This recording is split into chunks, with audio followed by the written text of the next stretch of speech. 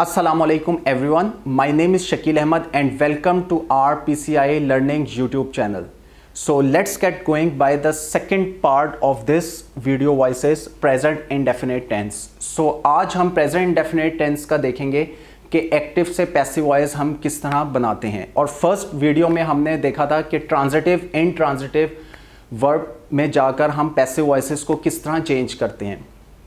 So formula of this subject plus first form of verb plus object. This is the actual formula of active voice. And the passive voice formula is object plus M is R verb third form plus by plus object pronoun. That's the formula of passive voice. Object pronoun हमारे पास क्या होते हैं guys? Me, us, your, him, her, it, them. Now move on the examples. The first example, he sings a song. Now change into passive voice a song is sung by him तो यहाँ आपने guys देखा कि he as a subject sings as a verb और song as an object हमने use किया। So according to this formula object हमारे पास एज ए सब्जेक्ट और सब्जेक्ट हमारे पास ऑब्जेक्ट में चेंज हो जाता है। That's the actual formula of passive voice now move another example he sings the songs now change into passive voice, the songs are sung by him. So guys, यहाँ पर एक चीज़ आपने देखनी है कि subject, verb, object.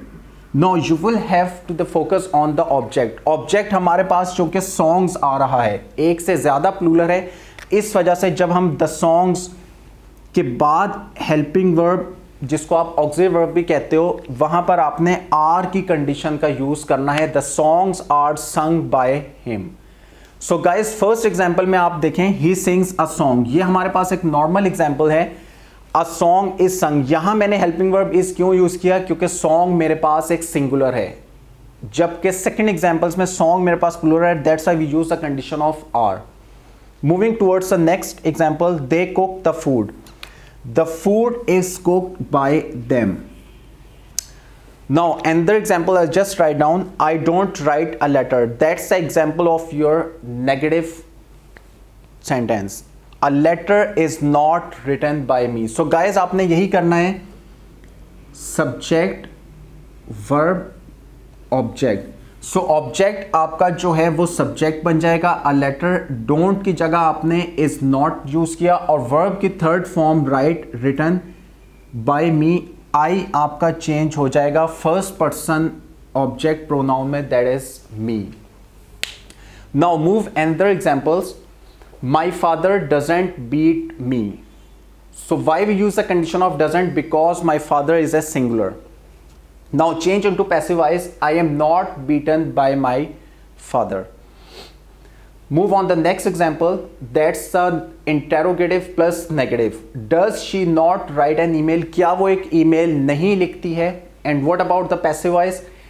Is an email not written by her? So guys यहाँ पर आपने देखा कि is की condition हमने पहले क्यों की है क्योंकि helping verb आपका डज है इस वजह से यहाँ पर हेल्पिंग वर्ब इस की कंडीशन पहले आ जाएगी और एन ईमेल अब यहाँ पर अगर हम देखते हैं, ये सब्जेक्ट हो गया, ये वर्ब हो गया, ये object so is an email not written by her so object subject और सब्जेक्ट हमारे पास ऑब्जेक्ट की जगह पर रिप्लेस हो जाएगा.